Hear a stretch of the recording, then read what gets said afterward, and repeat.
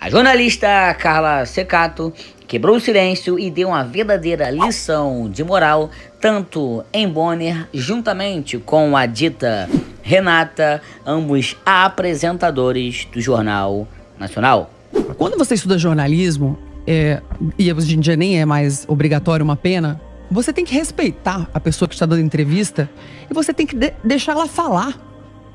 Eles não deixavam ele concluir uma frase. Ele começava a falar, parecia que ele estava ouvindo no ponto. Eu fiquei até assim na televisão para ver. Depois eu vi no final da entrevista que ele tirou o ponto. Parecia que alguém falava: corta ele, corta ele. Porque não é possível. Ele não conseguia concluir. Uma falta de educação e uma falta do princípio básico de uma entrevista, que é ouvir quem está sendo entrevistado. Eu vi alguns memes falando que parecia que era o programa do Faustão. ele pergunta e, nem, e não, não, deixa responder. E hoje o presidente Jair Bolsonaro postou na rede social dele muito interessante, falou assim: foi um bom pronunciamento do Bonner. Porque foi. Né? Agora eu quero ver na entrevista do Lula, depois de amanhã, se eles também vão tratar só do passado. Porque eles não fizeram uma pergunta propositiva.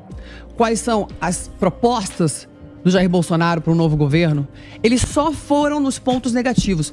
E tem coisa para perguntar pro Lula. O que, que, você perguntaria pro Lula, por exemplo? Ah, tá a primeira pergunta, porque a gente viu que a primeira já foi Como uma Como né? você né? conseguiu que todos os processos contra você fossem anulados?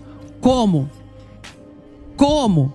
Você foi a primeira pessoa no Brasil, que está no mundo, que se demonstrou acima da lei. Primeira pergunta. Boa. É, eu, eu, não, eu não vou conseguir assistir. Quando eu vi a propaganda do Lula, a pré-propaganda, em março, me deu ânsia.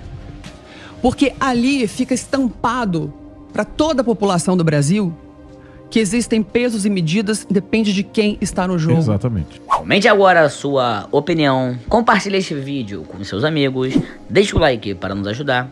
Fui!